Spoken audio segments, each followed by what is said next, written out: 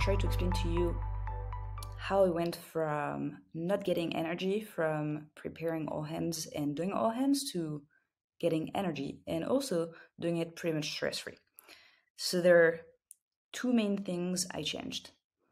And for context, we have weekly all hands and we have quarterly all hands. Um, weekly all hands are more structured. We go over our results, new hires, awards, and I have a section here called Mathilde's Musings that I do every other week. And then quarterly all hands, um, I'm the only one presenting, and it's a retrospect on the past quarter and uh, talking about the next quarter.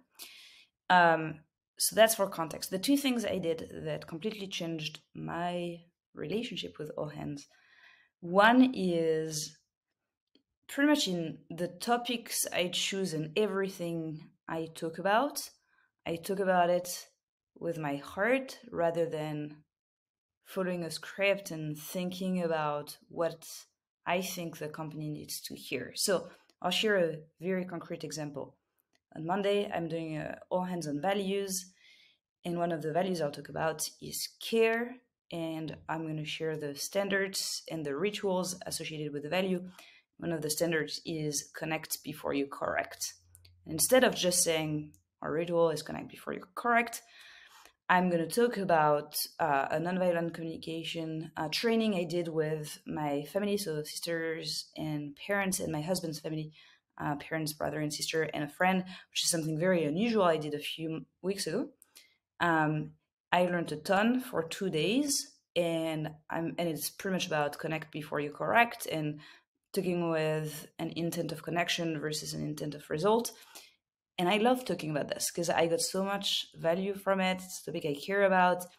And so I'm talking about values at all hands, but I'm going to talk about something I deeply care about.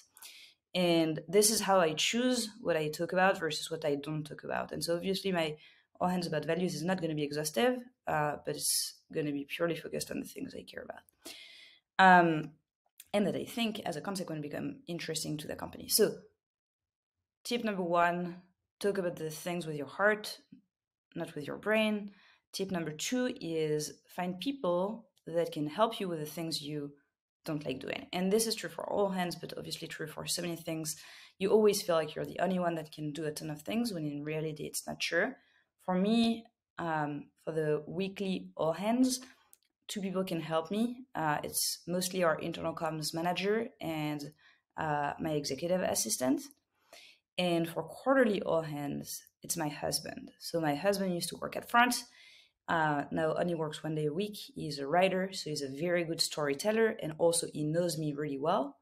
And so the beginning, at the end of every quarter, we sit down, we think about what are the things that we could talk about. I have a ton of context, so usually I can provide that context initially, but then he is the one that will um, find the structure uh, and how we're going to talk about all of this. And this is not something that I'm very good at, and is excellent at it. And the collaboration of the two of us makes something really great. And also, I love collaborating with my husband. so it's an added benefit.